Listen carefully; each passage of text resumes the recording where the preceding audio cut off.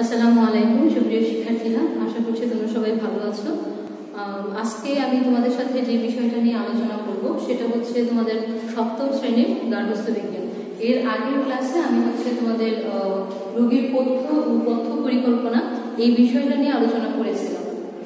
আজকে আমি এই রোগীর পথ্য পথ্য পরিকল্পনার পাঠ তিন এবং চার, এই আজকে তোমাদের সাথে আমি আলোচনা করব। এখন পাঠ এক এবং দুই, ওটার মধ্যে হচ্ছে আমরা পথ্য কি, কীভাবে পথ্য পরিকল্পনা করতে হবে, পথ্য পরিকল্পনার সময় কোন কোন জিনিসগুলো খেয়াল রাখতে হবে, অর্থাৎ কোন জিনিসটা আমরা সংযুক্ত করব, কোনটা আমরা বাদ দেব। এখন রোগীর বিভিন্ন দিক আমরা বিবেচনা করে কিন্তু পথ্য নির্বাচন করি। রোগীর বয়স, তারপরে হচ্ছে রোগী ওই জিনিসটা সহ্য করতে পারবে কিনা বা তার কোন কোন ওষুধ চলছে, সেটার সাথে কোনো রকমের বিক্রিয়া করবে কিনা বা কোন কোন জিনিসটা খেলে তার সমস্যা হতে পারে, কোন জিনিসটা খেলে তার উপকার হবে মানে এই ধরনের নানা জিনিস চিন্তা ভাবনা করে হচ্ছে আমরা কি করি রোগীর পথ্য নির্বাচন করি। তারপরে হচ্ছে আবার রোগেরও ধরন আছে। জ্বর হলে বা সাধারণত যদি আমাশয় হয় বা ডায়রিয়া হয়, এই রোগের সাথে অন্যান্য রোগের পথ্য কিন্তু মিলবে না। অর্থাৎ এক এক রোগের জন্য এক এক রকম পথ্য আমরা নির্বাচন করে থাকি। ঠিক আছে? তাহলে ওই জিনিসটা ছিল আমাদের প্রথম যেই পার্ট এক এবং দুই আলোচনা করেছি সেটাতে। আজকে আমরা পাঠ তিন এবং চারে যে বিষয়টা আলোচনা করব সেটা হচ্ছে, পাঠ তিনের মধ্যে আছে উচ্চ রক্তচাপ এবং ডায়াবেটিসের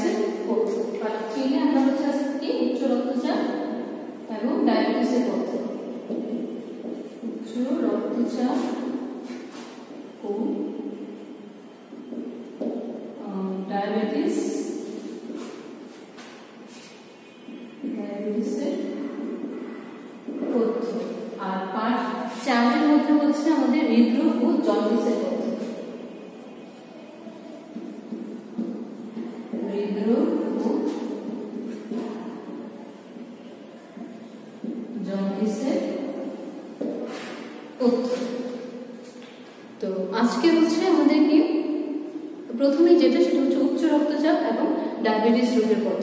অর্থাৎ আমরা উচ্চ রক্তচাপ মানে হচ্ছে হাই ব্লাড প্রেশার রোগীদের ক্ষেত্রে এবং ডায়াবেটিস রোগীদের জন্য আমরা কোন ধরনের পথ্য নির্বাচন করব এবং কোন কোন জিনিসগুলো খেয়াল রেখে তাদের জন্য আমরা পথ্য নির্বাচন করতে পারি।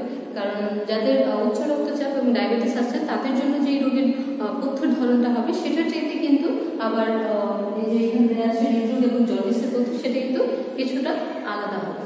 আমরা যে রোগের জন্যই পথ্য নির্বাচন করি না কেন, প্রথমেই হচ্ছে আমরা আমরা তাদের বয়সের দিকটা মাথায় রাখতে হবে, সে কি আমরা বাচ্চার জন্য করছি না মধ্যবয়স্কর জন্য করছি নাকি একদম বৃদ্ধ বয়সের জন্য, মানুষের জন্য করছি? এই জিনিসগুলো হচ্ছে বয়স ভেদে পথ্য পরিকল্পনার কিন্তু একটা তারতম্য ঘটবে। তারপরে হচ্ছে আমরা কোন বিষয়টা খেয়াল রাখব? রোদের রোগের যে তীব্রতা বা জটিলতাটা কেমন? মারাত্মক নাকি সাধারণ খুব দ্রুত সেরে যাবে? এই জিনিসগুলো মাথায় রেখে হচ্ছে কি, রোগীর পথ্য নির্বাচন করতে হবে। তো প্রথমেই আমরা দেখব হচ্ছে উচ্চ রক্তচাপ এবং ডায়াবেটিসের পথ্য উচ্চ রক্তচাপটা মানে কেন হয়? ডায়াবেটিস বলো বা উচ্চ রক্তচাপ বলো, সেই জিনিসটা কেন হয়? এখন উচ্চ রক্তচাপের জন্য কিন্তু কিছু কারণ আছে। প্রথমেই যেটা আমাদের সামনে আসে সেটা হচ্ছে বংশগত কারণ হতে পারে একটা কারণ। তারপরে হচ্ছে ওজনাধিক্য অর্থাৎ যদি কারও শরীরের ওজন মাত্রাতিরিক্ত হয়, অর্থাৎ যতটুকু তার হাইট অনুযায়ী থাকা প্রয়োজন, তার বয়স অনুযায়ী যতটুকু ওজন থাকা প্রয়োজন হাইট এবং ওয়েট অনুযায়ী, তার চাইতে যদি বেশি ওজন হয়, তাহলে সেটাকে আমরা ধরে নিব ওজনাধিক্য অর্থাৎ ওজনের সমস্যার কারণেও কিন্তু এখানে উচ্চ রক্তচাপের সমস্যাটা হতে পারে। তারপরে হচ্ছে কি বিভাগীয় ত্রুটি ঘটে। বিপাকীয় যদি একটা ত্রুটি ঘটে, সেখানেও কিন্তু হতে পারে। তারপরে আরেকটা হচ্ছে কি, অনিয়ন্ত্রিত জীবনযাপন। অর্থাৎ কেউ যদি এরকমভাবে খাওয়া দাওয়া কোনো কিছুর ব্যাপারে যদি খেয়াল না করে, অনিয়ন্ত্রিতভাবে যদি জীবনযাপন করে, তার ক্ষেত্রেও কিন্তু উচ্চ রক্তচাপের সমস্যাটা হতে পারে। তাহলে আমরা দেখলাম যে প্রথমে বংশগত কারণ, তারপরে হচ্ছে অনিয়ন্ত্রিত জীবনযাপন, তারপরে হচ্ছে ওজনাধিক্য এবং আরেকটা কারণ হচ্ছে কি তার আরেকটা কারণ হচ্ছে বিপাকীয় ত্রুটি ঘটে। এখন আমরা এখানে লিখে দিচ্ছি উচ্চ রক্তচাপের কারণ উচ্চ রক্তচাপের কারণ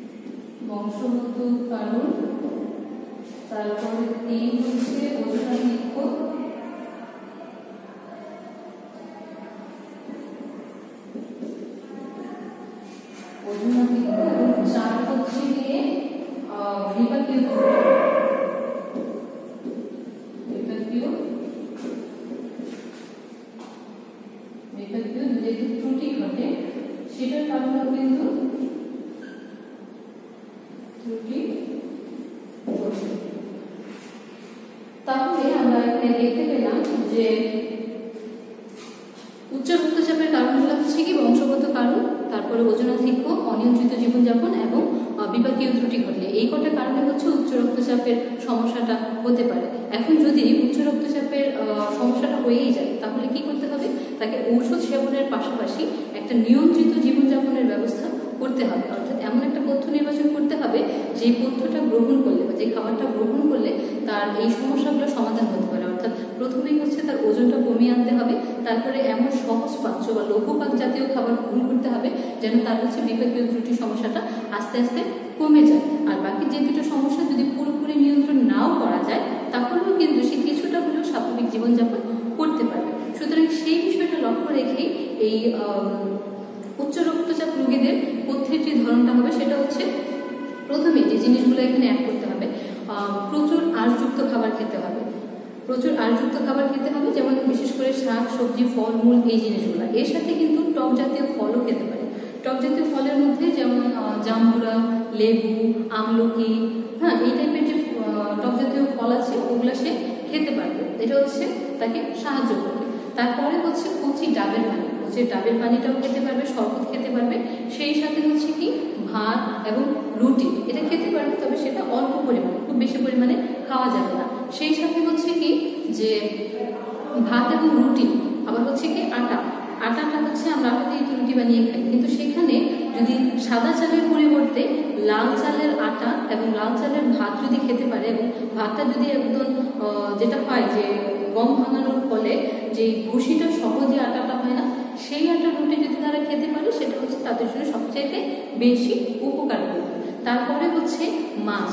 মাছ খেতে পারবে, চর্বি ছাড়া যে মাংস সেটা খেতে পারবে এবং চামড়া ছাড়া মুরগির মাংসটাও কিন্তু সে খেতে পারবে। এটা বেশি পরিমাণে খাওয়া যাবে। ঠিক আছে? তারপরে হচ্ছে ডাল এবং বাদাম খেতে পারবে। তারপরে হচ্ছে ননি তুলা দুধ, অর্থাৎ দুধের যে স্বর আছে, সেটা বাদ দিয়ে সে ওই দুধটা খেতে পারবে এবং ওই দুধের তৈরি টক দইও কিন্তু সে খেতে পারবে। তারপরে বিভিন্ন পাকা ফল এগুলো তো খেতেই পারবে। সেই সাথে রান্না করার সময়, সবচেয়ে প্রয়োজনীয় যে জিনিসটা, সেটা হচ্ছে কি, রান্না করার সময় তরকারিতে লবণটা একটু কম দিতে হবে এবং খাবারের সময়ও কোনো এক্সট্রা লবণ সে খেতে পারবে না কারণ এই লবণটা হচ্ছে ব্লাড প্রেশারটা মানে খুব দ্রুত বাড়িয়ে দেয়। এটা হচ্ছে কোন কোন খাবারটা তারা গ্রহণ করতে পারবে। এখন হচ্ছে কোন কোন খাবারটা তাকে বর্জন করতে হবে, অর্থাৎ পরিহার করতে হবে। এই খাবারগুলো সে খেতে পারবে না। যদি খায়, তাহলে তার প্রেশারটা খুব দ্রুত কি হবে? বেড়ে যাবে। সুতরাং সেই ক্ষেত্রে তাকে অবশ্যই কোন কোন জিনিসটা বাদ দিতে হবে, এই জিনিসটা মাথায় রাখতে হবে তোমাদের। ঠিক আছে? তাহলে এখন বলে দিচ্ছি যে কোন কোন জিনিসগুলো সে খাবার তালিকা থেকে বাদ দিতে হবে। প্রথমেই যেটা বাদ দিতে হবে সেটা হচ্ছে যে অতিরিক্ত তেলযুক্ত, মশলাযুক্ত, ফ্যাটযুক্ত খাবার, এই খাবারগুলো সে কখনো খেতে পারবে না। আবার যদি সে ভাত খায়, রুটি খায় যেটাই খাক না কেন, তাকে পরিমিত পরিমাণে খেতে হবে। অর্থাৎ পরিমাণের চাইতে বেশি। আমার একটু মজা লাগল খাওয়ার সময়, আমি একটু বেশি করে খেয়ে। এই জিনিসটা কখনোই করা যাবে না। অর্থাৎ পরিমাণের চাইতে বেশি খাদ্য গ্রহণ করা যাবে না। তারপরে হচ্ছে কি, মাখন, ঘি, ডালডা, তারপরে হচ্ছে নারিকেলের তেল জাতীয় বা বেশি তৈলাক্ত অয়েলি ফুড যেটাকে আমরা বলি, সেটা পরিহার করতে হবে। সেই খাবারটা কি হবে? সে গ্রহণ করতে পারবে না। এটা করলেও তার মানে হাই প্রেশারটা যেটা আছে সেটা বেড়ে যায়। তারপরে হচ্ছে কি ফাস্টফুড জাতীয় খাবার। ফাস্টফুড জাতীয় খাবার যেগুলো আছে, যেমন পিৎজা বার্গার তারপরে হচ্ছে চিকেন নাগেটস এই টাইপের খাবার খেতে পারবে না। সালাদের খাবারের সময়, সালাদ খাবারে আমরা বিভিন্ন ধরনের টেস্টিং সল্ট যেটা অ্যাড করি, এই টেস্টিং সল্ট জাতীয় খাবারগুলো হচ্ছে কি তাকে অ্যাভয়েড করতে হবে। অর্থাৎ টেস্টিং সল্ট বা এক্সট্রা কোনো লবণ খেতে পারবে না। আরেকটা জিনিস আছে যে যেই খাবারগুলো লবণ দিয়ে সংরক্ষণ করা হয়, অর্থাৎ লবণ দিয়ে সংরক্ষিত খাবারগুলো, যেমন আচার, চাটনি, সস, এই টাইপের খাবারগুলো সে খেতে পারবে অর্থাৎ এগুলো পরিহার করতে হবে। আরেকটা যেটা জিনিস, সেটা হচ্ছে কি, লবণ দিয়ে সংরক্ষণ করা যে মাছগুলো আছে, যেমন নোনা ইলিশ, তারপরে টিনজাত যে মাছগুলো সংরক্ষণ করে রাখা হয়, সেই মাছগুলোও কিন্তু সে খেতে পারবে না। এখানে লবণটা হচ্ছে তার জন্য বিষের মতো কাজ করবে, এই জন্য অবশ্যই অতিরিক্ত লবণ খাওয়াটা তাকে বাদ দিতে হবে। এটা গেল হচ্ছে? আমাদের উচ্চ রক্তচাপ রোগীদের ক্ষেত্রে আমরা কোন কোন জিনিসগুলো হচ্ছে খাদ্যে সংযুক্ত করব, কোন কোন জিনিসগুলো হচ্ছে আমরা এখান থেকে বাদ দিয়ে দেবো। এই জিনিসগুলো যদি সে মেনে চলে, তাহলে হচ্ছে কি, সে স্বাভাবিক জীবনযাপনে কিন্তু অভ্যস্ত হয়ে যাবে। অর্থাৎ খুব বেশি জটিলতার সম্মুখীন থাকে হতে হবে না। এটা করলে সে একটা নিয়ন্ত্রিত জীবনযাপন করতে পারবে। তারপরে হচ্ছে ডায়াবেটিস রোগীর পথটা কেমন হবে? এই ডায়াবেটিস রোগটার সাথে বা নামটার সাথে কিন্তু আমরা মোটামুটি সবাই পরিচিত। কারণ ডায়াবেটিস রোগটা হচ্ছে কি, এরকম একটা সর্বজনীন রোগের মতো হয়ে গেছে। এই কারণে ডায়াবেটিস রোগীদের জন্য কিছুটা আলাদা রকম তথ্য তোমাদেরকে নির্বাচন করতে হবে। এখন দেখো ডায়াবেটিসটা কেন হয়? ডায়াবেটিসটা হয় হচ্ছে প্রথমত একটা কারণ থাকতে পারে, সেটা হচ্ছে বংশগত কারণ, তারপরে হচ্ছে কি অতিরিক্ত শারীরিক ওজন অথবা কি, অনিয়ন্ত্রিত জীবনযাপন। অর্থাৎ আমি যেই কারণগুলো এখানে উল্লেখ করেছি, উচ্চ রক্তচাপের কারণ, সেটার সাথে কিন্তু অনেকটাই মিলে যাচ্ছে এখন প্রথমে যে কারণটা সেটা হচ্ছে ডায়াবেটিস রোগের কারণ।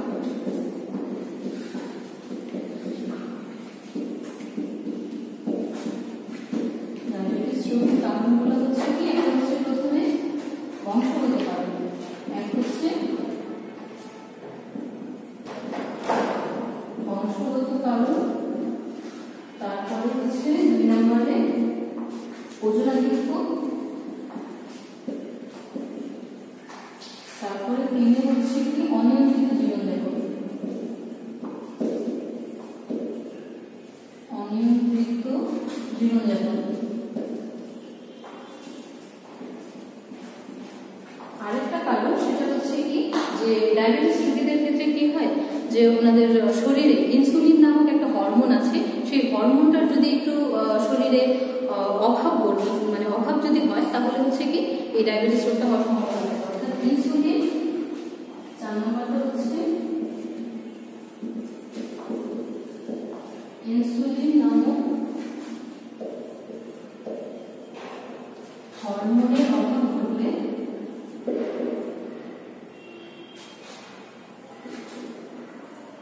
ইনসুলিন নামক হরমোনের অভাব ঘটে অর্থাৎ শরীরে যদি ইনসুলিন নামক হরমোনটা কমে যায় ওইটার অভাব যদি হয় তাহলে কি হবে যে ডায়াবেটিস হওয়ার সম্ভাবনা থাকে আর ডায়াবেটিস রোগী যারা তাদের হচ্ছে প্রস্রাবের সাথে অলরেডি তাদের ইনসুলিনের যেই হরমোনটা আছে এটা কিন্তু নির্গত হতে থাকে। এই কারণে হচ্ছে তাদের সমস্যাটা হয়ে যায়। ডায়াবেটিস রোগী যারা আছে, তাদের খুব বেশি সময় দেখবেন যে কি অনেককে ইনসুলিন পুশ করা হয়। এবং এই যে ইনসুলিন নামক হরমোনটার অভাবের কারণেই কিন্তু এই সমস্যাগুলো হচ্ছে। এখন ইনসুলিন এই ডায়াবেটিস রোগীদের ক্ষেত্রে যে যে জিনিসগুলো আমাদেরকে মাথায় রাখতে হবে, সেটা হচ্ছে যে ডায়াবেটিস হলে কি হয়, রক্তে গ্লুকোজের পরিমাণটা বেড়ে যায়। এই গ্লুকোজের পরিমাণটা যেহেতু রক্তে বেড়ে যায় সেহেতু আমাদেরকে ডায়াবেটিস রোগের তথ্য নির্বাচন করার সময় প্রথমে যে খাবারগুলো থেকে অতিরিক্ত পরিমাণে গ্লুকোজ আহরিত হয়, অর্থাৎ গ্লুকোজ রক্তে গ্লুকোজের পরিমাণ বাড়িয়ে দেয় যে সমস্ত খাবারগুলো, সেই খাবারগুলোকে আমাদের পরিহার করতে হবে।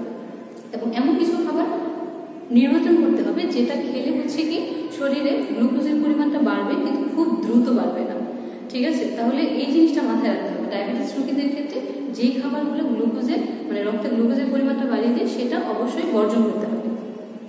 তারপরে হচ্ছে ডায়াবেটিস রোগীদের ক্ষেত্রে আরেকটা যে কথা, সেটা হচ্ছে তাদেরকে অবশ্যই খাবার হিসাব করে খেতে হবে। তারা কিন্তু চাইলেই খুব বেশি পরিমাণে খাবার গ্রহণ করতে পারবে না। আবার আমি যে খাবার অনেক বেশি গ্যাপ দিয়ে খেতে পারব, তাও কিন্তু না। ডায়াবেটিস রোগীদের জন্য পরিমিত খাবার খেতে হবে এবং টাইম টু টাইম খেতে হবে। অর্থাৎ তাদের কিন্তু সময় নির্ধারণ করা থাকে যে কতক্ষণ পর পর তারা খাবে, কি জাতীয় খাবার খাবে, কোন খাবারটা কম খাবে, কোনটা বেশি খাবে। তাহলে এখন হচ্ছে আমরা ডায়াবেটিস রোগীর পথ্যটা নিয়ে আলোচনা করব। অর্থাৎ কি ধরনের পথ্য তারা নির্বাচন করবে? প্রথমে ডায়াবেটিস রোগীর পথ্য থেকে যে জিনিসটা মানে তার কোন কোন জিনিসটা খেতে পারবে, বেশি পরিমাণে খেতে পারবে।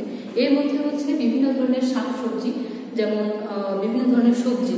যেমন হচ্ছে কি চিচিঙ্গা, ধুন্দল, পেঁপে, তারপরে হচ্ছে পটল তারপরে হচ্ছে লাউ, কুমড়া, উচ্ছে, করলা কাঁকড় এই টাইপের খাবারগুলো এবং বিভিন্ন ধরনের সবজি, শাকসবজি, এগুলো তারা খুব বেশি পরিমাণে খেতে পারে।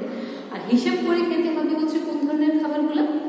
হিসেব করে খেতে হবে ভাত, তারপরে হচ্ছে রুটি মুড়ি, খই, বিস্কিট, তারপরে হচ্ছে তোমার ফাস্টফুড জাতীয় খাবার তারপরে মশলাযুক্ত খাবার, এই টাইপের যে খাবারগুলো আছে, অর্থাৎ হেভি ক্যালস্ট্রলযুক্ত যে খাবারগুলো, ওগুলো অবশ্যই পরিহার করতে হবে, বাদ দিতে হবে। তারপরে মাছ, মাংস, দুধ, ডিম, ডাল, বাদাম এই ধরনের খাবারগুলো কিন্তু বেশি পরিমাণে খেতে পারবে না।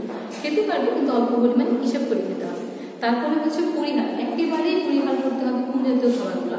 চিনি, গুড়, শরবত, মিষ্টি জাতীয় খাবার। মিষ্টি জাতীয় যত ধরনের আইটেম আছে, তারপরে হচ্ছে ড্রিঙ্কস জুস হ্যাঁ এই ধরনের খাবারগুলো হচ্ছে ডায়াবেটিস রোগীদেরকে বর্জন করতে হবে। তাহলে এই ছিল কি আমাদের পার্ট তিনের মধ্যে এবং ডায়াবেটিসের পথ্য অর্থাৎ ডায়াবেটিসের পথ্যটা কেমন হবে, কি ধরনের পথ্য আমরা নির্বাচন করব, কি কি জিনিসগুলো বাদ দিব, কোন কোন জিনিসগুলো আমরা গ্রহণ করব এবং কোন কোন জিনিসগুলো হচ্ছে একেবারে বাদ দেবো। তাহলে এখানে উচ্চ রক্তচাপের ক্ষেত্রে একেবারে পরিহার করতে হবে হচ্ছে লবণটা, অর্থাৎ খুব বেশি লবণ তারা খেতে পারবে না। এবং ডায়াবেটিস রোগীদের ক্ষেত্রে একেবারে পরিহার করতে হবে মিষ্টি জাতীয় খাবার। অন্যান্য খাবার পরিমিত পরিমাণে গ্রহণ করতে পারবে, কিন্তু পরিমাণের চাইতে বেশি গ্রহণ করা যাবে না। তাহলে এরপরে হচ্ছে আমরা চলে যাই পার্ট চারে। জন্ডিসের পথ্য প্রথমে আমি হৃদরোগটা নিয়ে আলোচনা করি। হৃদরোগ হলে, হৃদরোগটা হচ্ছে কি যে আমাদের দেশে দিন দিনই হচ্ছে কি হৃদরোগের পরিমাণ বাড়ছে, অর্থাৎ যাদের হার্টের সমস্যা আছে। এখন এই সমস্যা যাদের আছে, একবার যদি সমস্যা হয়ে যায়, সেটা কিন্তু আর সহজে যায় না। ওটাকে আমরা কি করি যে, নিয়ন্ত্রণ করে আমরা স্বাভাবিক জীবনযাপন করতে পারি, কিন্তু একেবারে সেরে যাওয়ার কিন্তু কোনো সম্ভাবনা নেই। যেমনটা ডায়াবেটিস রোগীদের ক্ষেত্রে। ডায়াবেটিস রোগীতে এমন জিনিসটা হয়, এটা কিন্তু একেবারে কখনো সেরে যাবে না। এটাকে নিয়ন্ত্রণ করে এটার সাথে মানিয়ে চলতে হবে। কিন্তু একেবারে কিন্তু এটা সেরে যাবে না। হৃদরোগের ক্ষেত্রেও সেম জিনিসটাই হয়। সেখানে তুমি কি করতে পারবে যে এটার সাথে মানিয়ে চলতে পারবে, কিন্তু একেবারে সুস্থ হওয়ার সম্ভাবনা নেই। কিন্তু যদি এটাকে কন্ট্রোলে রাখা যায় বা এটাকে তুমি যদি নিজের আয়ত্তে রাখতে পারো, তাহলে স্বাভাবিক জীবনযাপন করতে পারবে। এই রোগের ক্ষেত্রে তোমাকে কি করতে হবে? যাদের হৃদরোগের সমস্যা, প্রয়োজনীয় খাবার গ্রহণ করতে হবে এবং প্রয়োজনের চাইতে বেশি যেতে খাদ্য শক্তি আছে, ওই টাইপের খাবারগুলো তুমি গ্রহণ করতে পারবে না। অর্থাৎ যতটুকু খাদ্য শক্তির প্রয়োজন, এর বাইরে খাবার গ্রহণ করা যাবে না এবং খাবার তালিকাটা অবশ্যই সুষম হতে হবে। অর্থাৎ সুষম খাবার গ্রহণ করতে হবে। এখন এই ধরনের রোগীদের ক্ষেত্রে কোন কোন জিনিসগুলো তোমাকে মানে অ্যাড করতে পারবে, সংযুক্ত করতে পারবে? এখন সংযুক্ত করার ক্ষেত্রে প্রথমেই হচ্ছে চাল মানে ভাত এবং রুটি। এখন ভাত এবং রুটির ক্ষেত্রে হচ্ছে লাল চালের ভাত এবং লাল আটার যে রুটিটা হয় সেটা হচ্ছে তার শরীরের জন্য খুব বেশি উপকারী। তারপরে হচ্ছে বেশি আড়যুক্ত খাদ্য, বেশি আড়যুক্ত খাদ্য, ফলমূল, শাকসবজি, এই টাইপের যে খাবারগুলো আছে সেটা সে বেশি পরিমাণে গ্রহণ করতে পারবে, এটা তার জন্য কোনো সমস্যা হবে না। তারপরে হচ্ছে টক ফল, যেমন জাম্বুরা কমলা, লেবু, আমলকি, এই টাইপের খাবারগুলো তার জন্য খুবই উপকারী। এগুলো সে গ্রহণ করতে পারবে। তারপরে হচ্ছে সে প্রতিদিন মানে অল্প পরিমিত পরিমিত খাবারের অভ্যাস করতে হবে। বেশি খাবার চাইলেই সে খেতে পারবে না। তারপরে হচ্ছে মাছ, চর্বি ছাড়া মাংস, তারপরে হচ্ছে চামড়া ছাড়া মুরগির মাংস, ডাল, বাদাম, এই টাইপের খাবারগুলো হচ্ছে তাকে খেতে হবে। অর্থাৎ বেশি পরিমাণে কিন্তু তারপরে রান্নায় হচ্ছে লবণ কম দিতে হবে। এখন বয়স হয়ে গেলে মানুষের কিন্তু নানা ধরনের সমস্যা দেখা দেয়। সেই ক্ষেত্রে প্রত্যেকটা সমস্যা কিন্তু একটাই চিকিৎসা থাকে যে তাকে নিয়ন্ত্রিত জীবনযাপন করতে হবে। তারপরে হচ্ছে বিভিন্ন রকমের রঙিন শাকসবজি এবং ফল। রঙিন মানে শাকসবজির মধ্যে যেগুলো সবুজ শাকসবজির মধ্যে আছে কি? পালং শাক, তারপরে হচ্ছে পুঁই শাক, এই টাইপের শাকসবজি আছে।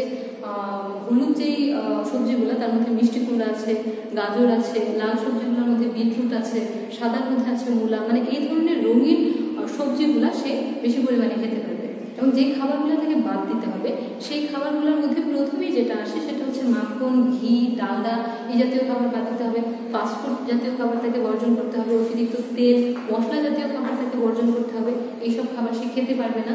তারপরে হচ্ছে কি, তাকে সফট ড্রিঙ্কস ডার্ক কফি এই টাইপের খাবারগুলো, যেমন চিনি চিপস চিপস চানাচুর বাইরে যে লবণ দিয়ে যে খাবারগুলো সংরক্ষণ করা থাকে, এই টাইপের খাবার সে খেতে পারবে না। তারপরে হচ্ছে আমরা চাইনিজ লবণ যেটাকে বলি, অর্থাৎ টেস্টিং সল্ট খাবারের সুস্বাদু করার জন্য যে টেস্টিং সল্ট ব্যবহার করা হয়, সেটাও সে ব্যবহার করতে পারবে বা খেতে পারবে। এই ধরনের খাবারগুলো তাকে কি করতে হবে? মানে বর্জন করতে হবে। তারপরে হচ্ছে বেকারির খাবার। বেকারির খাবারগুলো যেমন হয় তারপরে হচ্ছে তোমার সফট ড্রিঙ্কস মানে বিভিন্ন যেই প্রতিকূল উপাদান যেগুলোতে শরীরে থাকে, এইসব খাবারগুলো বা স্বাদের লবণ এগুলো পরিহার করতে হবে। তারপরে হচ্ছে জন্ডিস রোগীর পথ্য। এখন দেখো যে এখানে আমি বললাম এতক্ষণ ঋতুদের ঋতুদের খাবারের কি কি তালিকা হবে সেটা। এখন হচ্ছে জন্ডিস। জন্ডিসটা বলে আসলে জন্ডিস হচ্ছে নিজে কোনো রোগ জন্ডিসের কথা যদি বলতে যাই, জন্ডিস কিন্তু নিজে কোনো রোগ না, এটা হচ্ছে কি যে লিভারের অন্যান্য রোগের একটা লক্ষণ। অর্থাৎ লিভারে যদি কোনো ধরনের ভাইরাস বা ব্যাকটেরিয়া অ্যাটাক করে, সেই ক্ষেত্রে কি হয় যে প্রধান লক্ষণ হিসাবে আমরা এই জন্ডিসটা কিন্তু ধরা পড়ে।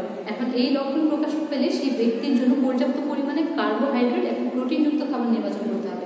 আবার জন্ডিস হলে অনেকেই করেন কি যে তাকে হলুদযুক্ত খাবার দেওয়া যাবে না, স্বাভাবিক খাবার দেওয়া যাবে না, হলুদ কম খেতে হবে, এগুলো হচ্ছে টোটালি একটা ভ্রান্ত ধারণা।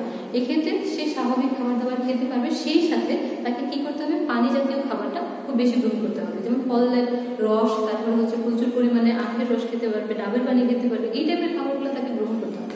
কিন্তু অনেকেই করে কি, যাতে স্বাভাবিক খাবার দাবারটা বন্ধ করে দিয়ে তাকে বেশি পরিমাণে মানে পানি জাতীয় খাবার খেতে দেয়। তারপরে হচ্ছে তাকে পানিতে নামিয়ে রাখে। অর্থাৎ এই চিকিৎসাগুলো তারা হচ্ছে গ্রামে যারা থাকে তারা বেশিরভাগ করে। কিন্তু এই জিনিসটা করা যাবে তাকে প্রোটিনযুক্ত খাবার এবং কার্বোহাইড্রেটযুক্ত খাবার দিতে হবে, যেন তার শরীরের যে ঘাটতিটা হয় সেটা যেন পূরণ হয়ে যায়। তারপরে হচ্ছে কি, তাকে চর্বিযুক্ত খাদ্য বা কৃত্রিম যে খাবার দাবারগুলো আছে সেটা থেকে তাকে বিরত রাখতে হবে, দূরে রাখতে হবে। যেন এই খাবার দাবারগুলো তার শরীরের জন্য ক্ষতি করবে, অর্থাৎ এগুলো তাকে পরিহার করতে হবে। এখন দেখো যে এই জন্ডিস রোগীর পথ্যটা কেমন? হবে জন্ডিস রোগীর পথ্যর মধ্যে প্রথমেই হচ্ছে তোমাকে যে জিনিসটা সংযুক্ত করতে হবে সেটা হচ্ছে কি তোমাকে দুধ, ডিম, তারপরে হচ্ছে মাছ, মাংস এগুলো পরিমিত পরিমাণে খেতে পারবে। যথেষ্ট পরিমাণে ফলের রস খেতে পারবে, তারপরে হচ্ছে ফল, বিভিন্ন ধরনের মিষ্টি, ফল, মূল, শাকসবজি, এগুলোও সে খেতে পারবে। এখন বাদ দিতে হবে কোনগুলো তাকে বাদ দিতে হবে হচ্ছে বেশি ক্যালোরিযুক্ত ফ্যাটযুক্ত খাবারগুলো বাদ দিতে হবে। এখন দেখো কী কী বাদ দিতে হবে জন্ডিসের তথ্য থেকে বাদ দিতে হবে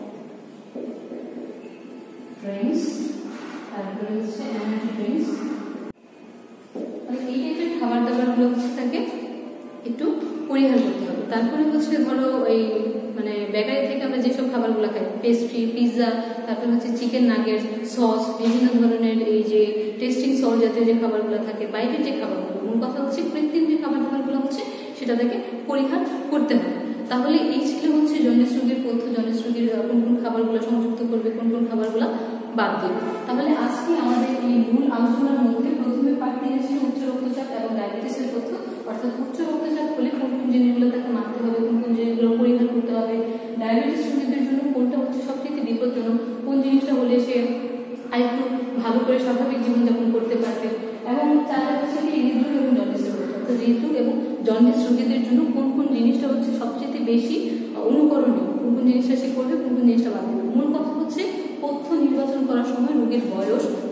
হচ্ছে রোগের ধরন, রোগের তীব্রতা তার জটিলতা, এইসব জিনিস মাথায় রেখে কিন্তু আমাদেরকে পথ্যটা নির্বাচন করতে হবে।